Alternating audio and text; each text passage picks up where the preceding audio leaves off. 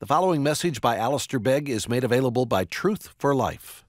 For more information, visit us online at truthforlife.org. I invite you to turn with me to Exodus, to the second book of the Bible, and to chapter 35. Exodus chapter 35, and we're going to read from verse 4 uh, through to the seventh verse of chapter 36.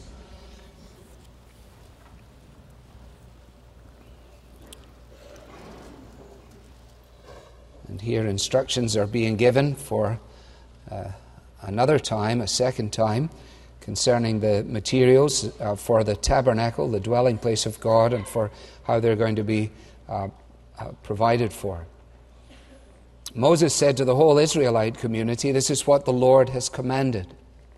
From what you have, take an offering for the Lord. Everyone who is willing is to bring to the Lord an offering of gold, silver, and bronze, blue, purple, and scarlet yarn and fine linen, goat hair, ram skins dyed red, and hides of sea cows, acacia wood, olive oil for the light spices for the anointing oil and for the fragrant incense, and onyx stones and other gems to be mounted on the ephod and breastpiece. All who are skilled among you are to come and make everything the Lord has commanded.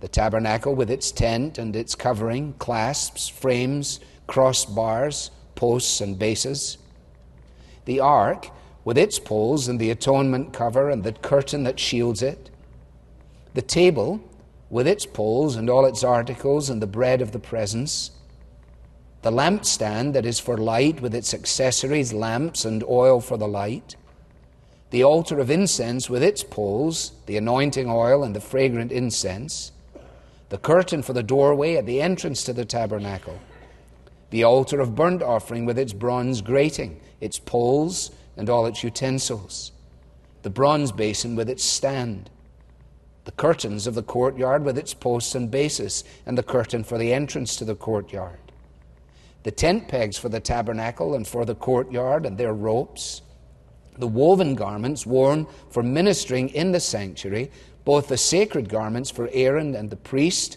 Aaron the priest, and the garments for his sons when they serve as priests. Then the whole Israelite community withdrew from Moses' presence, and every one who was willing and whose heart moved him, came and brought an offering to the Lord for the work on the tent of meeting, for all its service, and for the sacred garments. All who were willing, men and women alike, came and brought gold jewelry of all kinds, brooches, earrings, rings, and ornaments. They all presented their gold as a wave offering to the Lord. Everyone who had blue, purple, or scarlet yarn, or fine linen, or goat hair, ram skins dyed red, or hides of sea cows brought them. Those presenting an offering of silver or bronze brought it as an offering to the Lord, and everyone who had acacia wood for any part of the work brought it. Every skilled woman spun with her hands and brought what she had spun blue, purple, or scarlet yarn, or fine linen, and all the women who were willing and had the skill spun the goat hair. The leaders brought onyx stones and other gems to be mounted on the ephod and breastpiece. They also brought spices and olive oil for the light, and for the anointing oil, and for the fragrant incense. All the Israelite men and women who were willing brought to the Lord free will offerings for all the work of the Lord through Moses that he had commanded them to do. Then Moses said to the Israelites, See, the Lord has chosen Bezalel, son of Uri, the son of Hur, one of the tribe of Judah, and he has filled him with the Spirit of God, with skill, ability, and knowledge in all kinds of crafts, to make artistic designs for work in gold, silver, and bronze, to cut and set stones, to work in wood, and to engage in all kinds of artistic craftsmanship. And he has given both him and Oholiab, son of Ahisamach of the tribe of Dan, the ability to teach others. He has filled them with skill to do all kinds of work as craftsmen, designers, embroiderers in blue, purple, and scarlet yarn and fine linen, and weavers, all of them master craftsmen and designers. So Bezalel Aholiab and every skilled person to whom the Lord has given skill and ability to know how to carry out all the work of constructing the sanctuary are to do the work just as the Lord has commanded. Then Moses summoned Bezalel and Aholiab and every skilled person to whom the Lord had given ability and who was willing to come and do the work. They received from Moses all the offerings the Israelites had brought to carry out the work of constructing the sanctuary. And the people continued to bring freewill offerings morning after morning. So all the skilled craftsmen who were doing all the work on the sanctuary left their work and said to Moses, The people are bringing more than enough for doing the work the Lord commanded to be done. Then Moses gave an order, and they sent this word throughout the camp No man or woman is to make anything else as an offering for the sanctuary. And so the people were restrained from bringing more, because what they already had was more than enough to do all the work. Amen. And Father, as we turn now to the Bible, we pray that we might hear from your voice. We marvel at this great peculiar experience whereby the voice of a mere man becomes to us as we listen in faith and in obedience very voice of God to us. So we wait expectantly and humbly that we might hear from you and no one else, and that we might respond solely to the prompting and work of God the Holy Spirit, to the glory of God the Son in whose name we pray. Amen.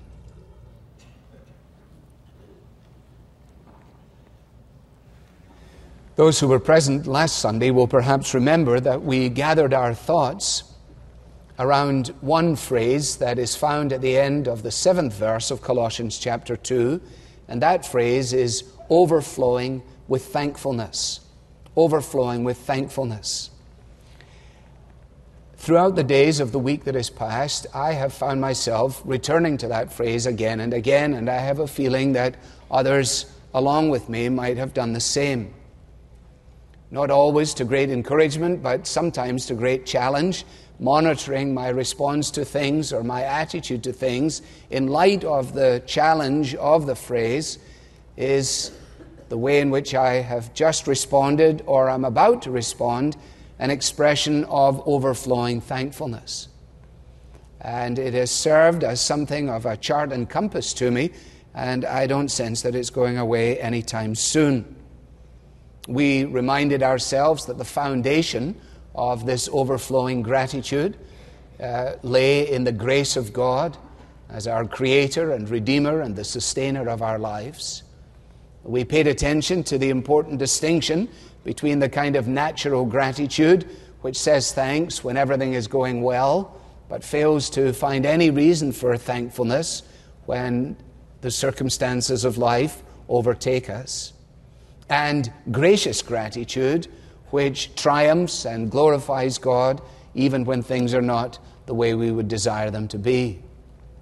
We ended our time by thinking about expressions of this same thankfulness, and we focused primarily on the notion of this thankfulness being expressed in the lives of those who would have reason to doubt, perhaps, uh, whether what had happened to them was something that they ought to rejoice in and be grateful for. And we ended with the illustration of two women. You will perhaps recall uh, Sarah Edwards, the wife of Jonathan Edwards, and the lady with the long uh, Swedish name who lost her father on a sailing trip to Gothenburg. But I want to come back to this notion of expressing gratitude and the expressions of overflowing thankfulness. And I want, as you would have already deduced from our scripture reading, to think of an expression of thankfulness in terms of generous giving to the work of the Lord. Generous giving to the work of the Lord and I have read purposefully from Exodus 35 because it gives us one of the wonderful illustrations from the Old Testament of God's people overflowing generously in response to God's grace. Let's just highlight it by looking at verse 20 and 21 of Exodus 35 as we begin. Then the whole Israelite community withdrew from Moses' presence, and everyone who was willing and whose heart moved him came and brought an offering to the Lord. Now, we need to say something uh, concerning the context of this, uh, lest we uh, fiddle with the Bible. And the context is the whole Bible and is certainly the book of Exodus, but we can't start at the very beginning. So let me encourage you, if you want, just to follow a couple of references with me, uh, to begin by looking at Exodus chapter 25 and verse 1, where we have the first indication of the Lord giving instruction for the construction of the tabernacle. And it is there, as you will see if you're using an NIV. In fact, they give that the heading Offerings for the Tabernacle. And what God is doing there is He's uh, giving to His servant Moses the directives which are to be passed on to the people concerning uh, the place of meeting. In other words, the Ark of the Covenant, set within the framework of the tabernacle, was to be the place where the people of God uh, symbolically met with God that this was uh, emblematic of his dwelling among them. God's people in God's place, under God's direction. And it was in this tabernacle that they were to be reminded of three things one, of God's awesome holiness, that he was distinctly unlike his creation, in that they were sinful and he was without sin. Secondly, of the people's need of cleansing, which becomes apparent when we are confronted by unfettered holiness. And thirdly, the provision of atonement for sin in the sacrificial system that was in place, always pointing forward to that final sacrifice in Christ Himself. Well, this was all very well, and it was a good start there in Exodus chapter 25. But before ever things uh, got to where they needed to be, uh, there was a dreadful delay that, be- that kicked in. And that delay is described for us, sadly, in chapter 32. And here, if you know anything of Exodus or know anything of the Old Testament, you may know something of the fact that the people of God made a golden calf and they bowed down to it.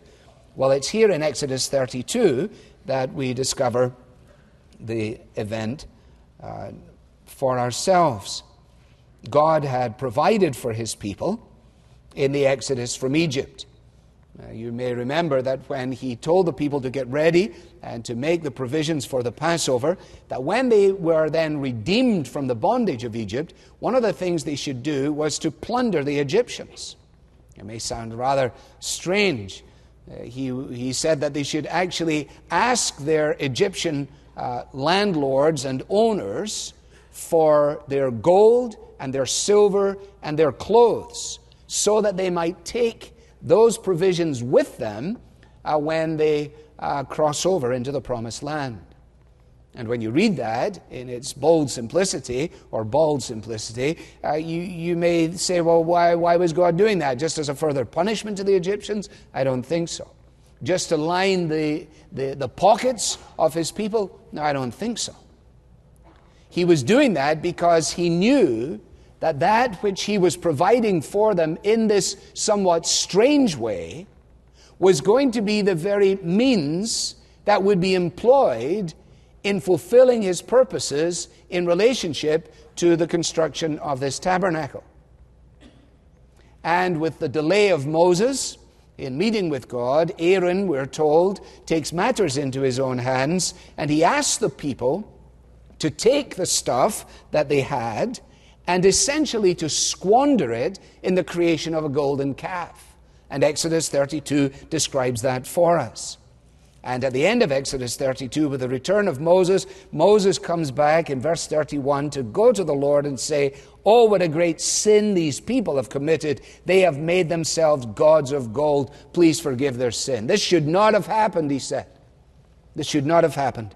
And if you go to 34 and to verse 8, you have the picture there of Moses bowing down to the ground, worshiping God, and saying, O Lord, if I have found favor in your eyes, then let the Lord go with us. Although this is a stiff necked people, forgive our wickedness and our sin and take us as your inheritance. In other words, you are the God who has made a covenant with your people. Keep your covenant. Even though we have made a horrible mess of things, even though we have taken what you have provided for us and squandered it in the construction of false gods, please do not leave us alone.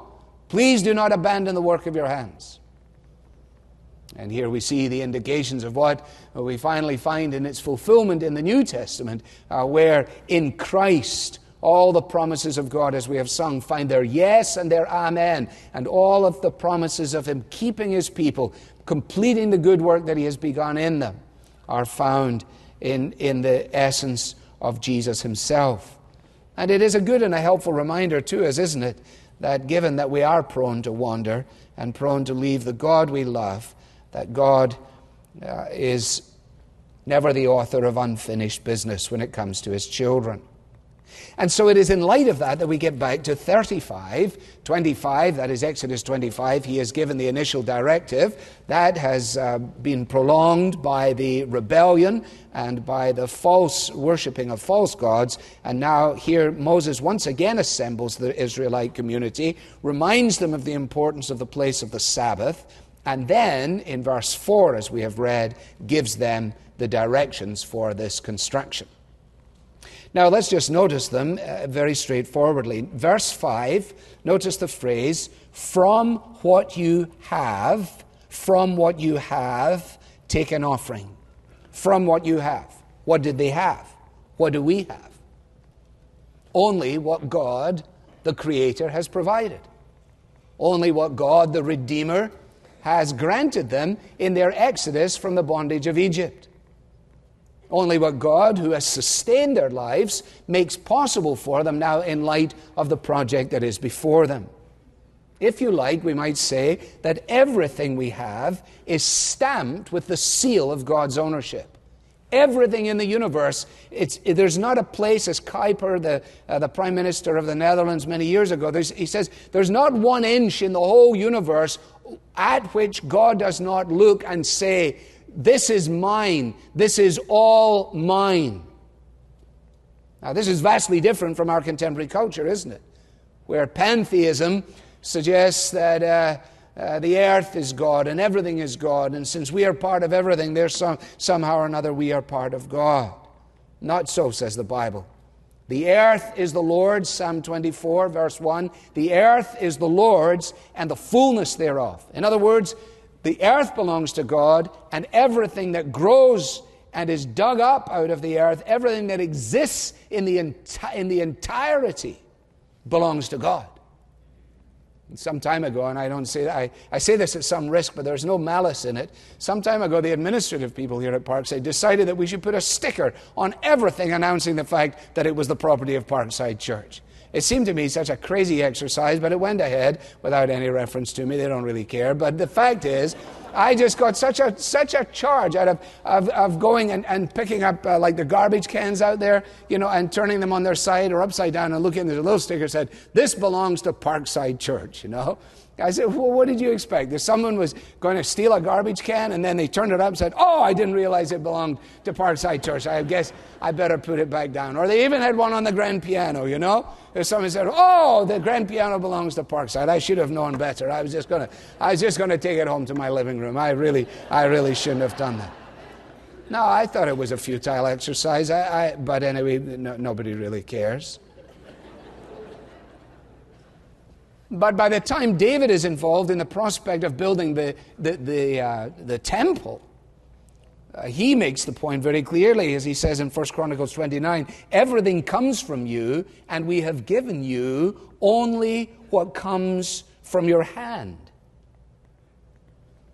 So we understand this fundamental notion. The directive is from what you have. What do you have? Only what God has given you. By the time you get to 1 Corinthians 4, he says, What do you have that you did not receive? And if you received it, why do you glory as if you did not receive it? I mean, why would you walk around like you're a self made man or, or a self made woman or whatever else it is? No, eh, on every inch of the universe, God's ownership is established. Therefore, everything that these people to whom he gives this directive had was a result of God's grace. Second phrase to help us understand the directive is the phrase, everyone who is willing. That's also in verse 5. Everyone who is willing. In other words, this is not a matter of legislation, this is, this is a matter of personal conscience.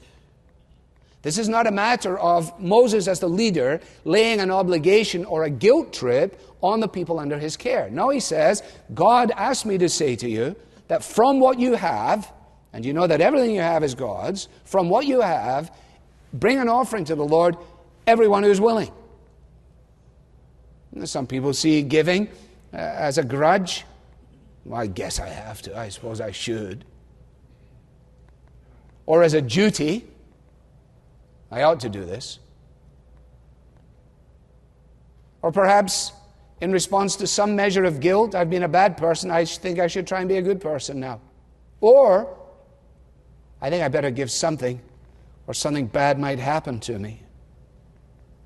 All of these things are absolutely against the principle which is here in Exodus 35 and runs throughout the Bible, the giving of the people of God in response to the grace of God is thanksgiving. It is overflowing gratitude, overflowing thankfulness revealed in overflowing generosity. How will God know that we are overflowing in thankfulness by our overflowing generosity?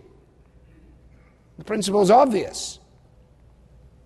Now, given the notion of willingness, we must always beware of anybody who is heavy handed or who is overly directive in the matter of giving. And you know, we say very little about giving here at Parkside Church. I've chosen to do so today for a number of reasons, but I think I didn't do this for at least two years. And before that, I think it was 12 years. So, just in case you're visiting today and would want to extrapolate from this, uh, really you'd have to wait some considerable time before there would be any mention again of these things. No, Aaron was the one who was heavy handed. Aaron is the one who told them what to do with their earrings. Moses doesn't give any expression regarding earrings. He just says uh, anybody who's willing and whose heart has been stirred up should bring an offering to the Lord. He doesn't tell them what to do or how to do it.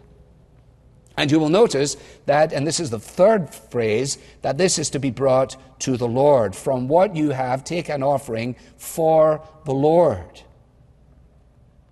Moses is telling the people that the Lord is willing to receive from all who are willing to give. But the Lord, who is in need of nothing, is willing to receive from those who are the beneficiaries of everything when we, the beneficiaries of His grace, as an expression of our overflowing thankfulness, reveal our hearts in overflowing generosity. And when that happens, God is glorified. When that happens, glory and praise is given to God.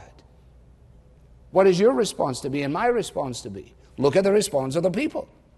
When he had given these directives, and he gave them with great clarity, with no manipulation, no funny business, verse 20, then the whole Israelite community withdrew from Moses' presence. They said, okay, we better go away and think about this. And having withdrawn from the presence of Moses, notice what happened. Everyone who was willing and whose heart moved him or whose heart was stirred up brought an offering, notice again the phraseology, to the Lord for the work. You see, if people have to be cajoled in relationship to the work, well, you've got to explain to me what this is. Well, you've got to explain why that's happening. You've got to explain the next thing. Then they don't understand. I don't understand then what it means to give to the Lord. I'm giving this to the Lord. Yeah, but who's looking after this? Well, in this instance, the elders of the church. In that instance, the elders of Israel.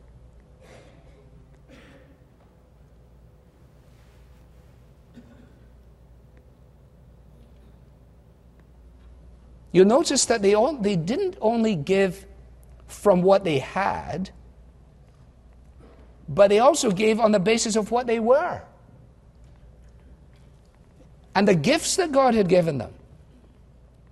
And we don't have time to go through this, but I read it as purposefully and as clearly as I could, and it's not an easy passage to read. But weren't you struck by the way in which God fills people with His Spirit for artistic endeavors? that he fills these two characters particularly and expressly in this way, in order that by the arts, which is essentially what it is, by the arts, by the creativity, by the use of fabrics, by all of these things, by the fragrance of incense and the gems on the ephod and the breastplate of the, of the uh, ministering priest, by all of these things, the work of the Lord was set forward. Another time we'll come back perhaps and look at Exodus 35 in terms of a Christian view of the arts. But it's all here in the Bible, and it's really pretty clear.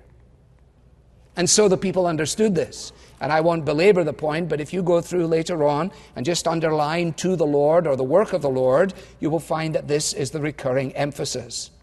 And in response to the directive, now we discover that eventually they had to call a halt to it. I think there's a measure of humor in verse 4 of 36. I, I hope you do too. So all the skilled craftsmen who were doing all the work on the sanctuary downed tools and went to see Moses and said, Listen, enough already. The people are bringing more than enough for doing the work the Lord commanded to be done.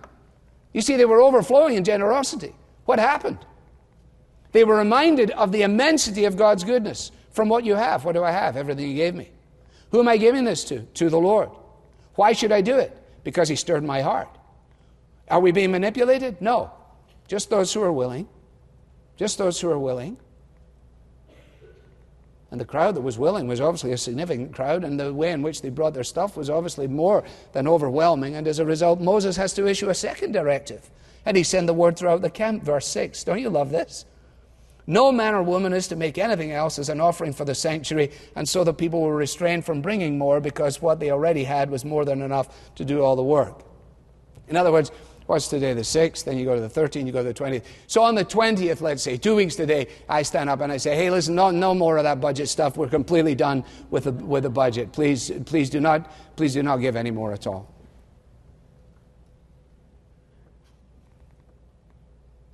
Overflowing thankfulness revealed in overflowing generosity. God does not administer His grace in percentages. He lavishes His grace upon His people. And out of the abundance of his heart, in Jesus, he has given to his people one blessing after another. Let's then say a word concerning our reaction to this, or the application of their reaction. God has come to Moses and he said, I have a plan for my tabernacle. I want you to convey this to the people so that those who are willing may respond accordingly. We read our Bibles, and essentially the story is the same. God has a plan for saving people through the work of His Son. And He says, I want those who have their hearts stirred up and who are willing to help by giving to gospel work. To help by giving to gospel work. When I have occasion to write a thank you note for those who've given to the work of Truth for Life, I try always to write with the same phraseology. I'm sure I mistake sometimes. But I'm careful to say, I want to thank you today for the gift that you've given to the work of the gospel via Truth for Life. You've given a gift to the work of the gospel via Truth for Life. But your gift is a gospel gift. And the people here realized that they were involved in something that was far bigger than anything they knew about God meeting with his people, about God reaching out beyond his people to the alien peoples and so on. And in the same way, you and I become part of a great missionary project when we do as we've pledged to do. We're involved in the work of the gospel. And what the Bible says is given that this is our privilege and our opportunity, would we not give ourselves in response to overflowing grace with overflowing generosity. There's a wonderful epitaph on the wall of a military officer in St. Paul's Cathedral in London which reads as follows Sacred to the memory of Charles George Gordon, who at all times and everywhere gave his strength to the weak, his substance to the poor, his sympathy to the suffering, and his heart to God. Actually, it should start with He gave His heart to God, and then from there. I need to draw this to a close, and some of you are staring at me. but this notion of overflowing generosity needs to be seen in light of a few things, and I can't work these out, but let me just give them to you. Number one, an unreserved commitment to Christ. An unreserved commitment to Christ. I am not committed to Christ if my wallet is not involved. The rich young ruler went away sad, having asked all the right questions, was concerned about eternal life, but he was not prepared for unreserved commitment to Christ. Any giving that doesn't begin with our unreserved commitment to Christ is not biblical giving. Secondly, such overflowing generosity must be exercised in keeping with what we have. In keeping with what we have. Uh, when Paul writes to the Corinthians in 1 Corinthians 16, he says that your giving should be according to your means. According to your means. In other words, he says, I don't want you to get involved in an emotional surge. I don't want you to take your brain out in relationship to this. I want you to think about what's going on. And our means at one time may be better than at another time. The earning capacity of an individual in his middle years will be different from that retired person in most circumstances, and so we would be able to discriminate. But once again, it is the stirring of the heart, the willingness of the Spirit, unreservedly committed to Jesus, and in keeping with what we have. And also, such overflowing generosity has to be exercised in light of our obligation to our God given economic duties. In relationship to our God given economic duties, which are what? Well, what is it, 8.5% sales tax? Whatever the basic rate of income tax, and then there's some on top? Whether you like tax, don't like tax, like the idea of it, whatever else it is, doesn't matter. Romans 13 says we have an actual God given obligation to play our part in these things. Therefore, what we do in relationship to a willing, stirred heart, in terms of overflowing generosity, has to be seen in light of that our obligation to the state and our obligation to our families. Someday at another time, I will speak to this issue, but I think there are two things by observation that are totally crazy. You don't need to care about this, and you don't need to pay attention to what I'm telling you. But this is my observation. I personally think it's wrong to pass on to our children unbelievable debt as a result of their education. I don't believe that is clever parenting. People disagree with me. That's just my view.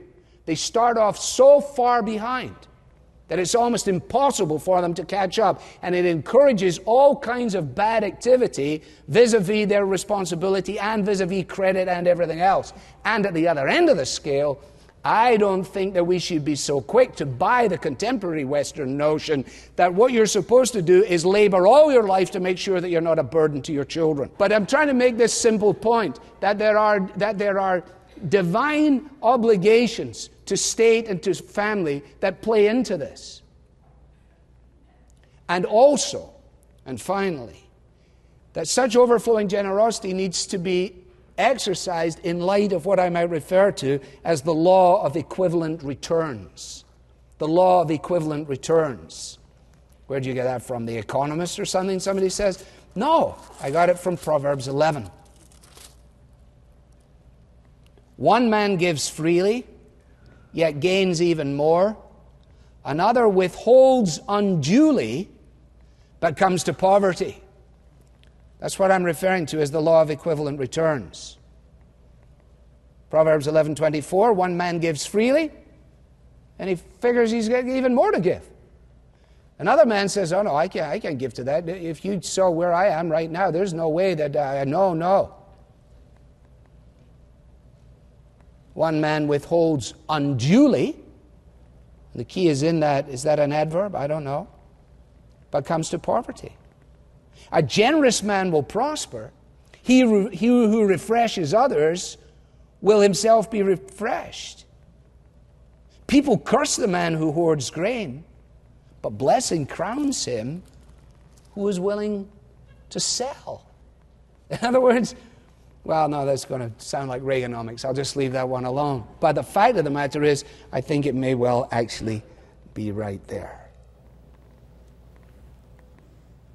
Let me finish with a lady as I did last Sunday morning. You know this lady well. She showed up at the house of Simon the leper. Jesus was there. It was a routine kind of evening. That was uh, right up until the point that she came in and started smashing, smashing a jar of perfume. She had an alabaster jar of very expensive perfume. The equivalent of a year's wages, apparently. Not just some little trinket that she picked up at Dillard's, but something that would have been used either for a dowry on the occasion of her wedding or would be used for the embalming of a loved one in the, at the occasion of their death. And this lady came to Jesus and she took this and she created a stink with it, a beautiful fragrance that would have hung on people for a long time. And people would have said, Man, boy, do you smell good. What is that? Where were you? He said, Well, we were at the house of Simon the leper, and the lady showed up and she s- smashed this alabaster jar of perfume. Must have been some perfume that you are so. Yeah, it was costly in its bestowal, it was thoughtful in its uniqueness. It was timely in its provision. And it was challenging in its impact. That's why the people immediately began to say, That's ridiculous. I can't believe she did that. This could have been sold for a year's wages and all could have been given to the poor. Jesus says, Don't play the poor card right now. That's not the card to play right now. That's, you know that's not the issue, he says. What this lady has done will be reported throughout the world forever. Why? Because it was an expression of overflowing generosity that stemmed from overflowing thankfulness, which was the response to overflowing grace. Every tight fisted believer will inevitably, we will inevitably have our fists opened when we stand before the cross of Christ and we say with Andraé Crouch, How can I say thanks for the things you've done for me? And who are these people? Those who are willing, whose hearts have been stirred, who bring an offering to the Lord for the work. What work? The work of seeing unbelieving people become committed followers of Jesus Christ. And then the people withdrew to think this out.